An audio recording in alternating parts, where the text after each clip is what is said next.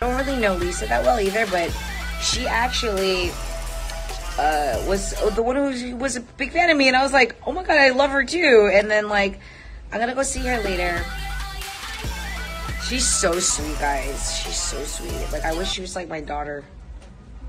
Like, if I had a daughter, like, that's the exact face.